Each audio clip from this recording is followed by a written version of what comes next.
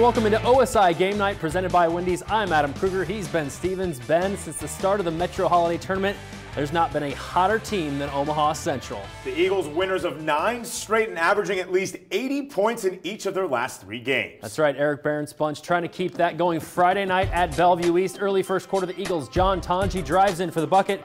Central up two in the early going. Coach Mustard hoping his team wouldn't have to play catch up, pun intended. Aha. Chieftains respond. Hunter Mangle gets the very friendly roll for three. Bellevue East takes a one point lead.